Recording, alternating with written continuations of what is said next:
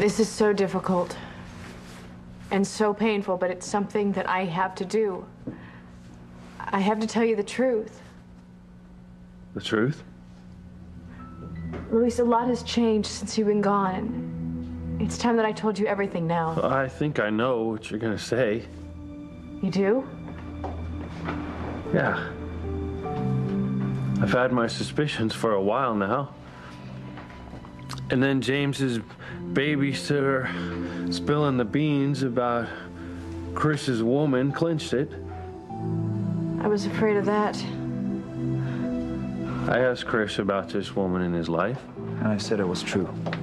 Chris told me how he fell in love with this woman after his wife died in the tsunami, and how James grew to fall in love with this woman as well. And that's where your big announcement comes in. And, you know, it threw me at first that you wanted to talk to both of us about it, but then I thought about Chris's special situation and how close the two of you are, and it all made sense. My God, you really have figured it out. Yeah. Your announcement is about us being married and Chris.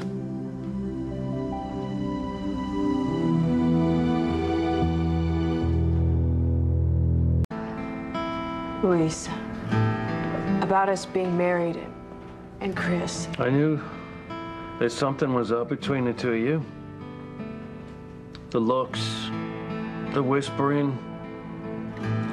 And then when James's babysitter said that Chris had fallen in love with someone that I knew, narrowed things down a bit. I'm sure it did. Hmm. Truth is, there's only one woman it could be. Dottie. What? Yeah, the woman who ran Marty's DNA test, your friend from Boston. What? Sure. I'm a detective. I figure stuff out all the time. Chris met Dottie, fell in love with her. She's from a well to do family, so they probably wanted to have a big wedding, and he started talking to Chris, and now you want that too. Luis, you got this all wrong.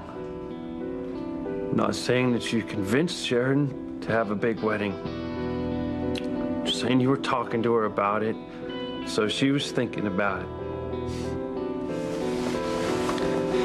And the truth that you've been talking to me about, that's us being married. And I know you're happy with that. It's just you want things to be the way we originally planned them before things went haywire. Luis, about us being married. I want that too. But I don't want to wait too long, okay? Look, I really wish you would sit down so I could clarify I've been things. looking at the calendar. Luis, sit down and just listen to Sheridan. I think. I think the end of May is good. You? May's a great time to get married. We can, we can have it outside if you want, Sheridan. We can even do it here. It's beautiful here that time of year. Luis. St. Margaret Mary's Church, then. Third time's a charm, right? Luis, Sheridan's trying to tell you something. Sheridan, if you're worried about money, don't. Okay? You- You spend as much as you want. My days of worrying about us trying to live on my salary are over, okay?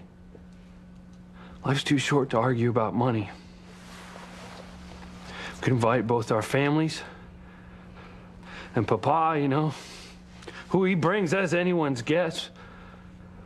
You can invite your society friends. I'll have all my buddies from down in the force. And then, uh, Chris, James, and Dottie. Luis, I'm gonna call the church right now, right? I'm gonna, I'm gonna see if they can reserve a time for us. Luis, don't.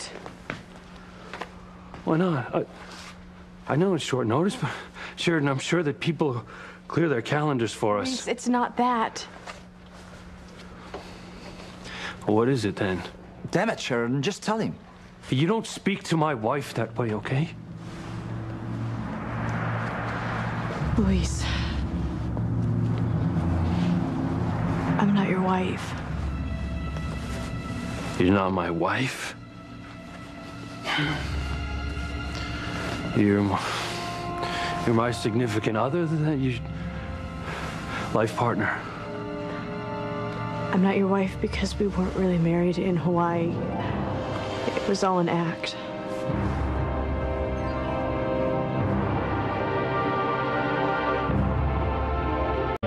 Sharon, you can't be married to someone else. You love me. I love my husband too. Husband. That's what I've been trying to tell you. I'm married now, happily married to another man. Oh, this can't be. I can't believe it. Believe it, Luis. It's true.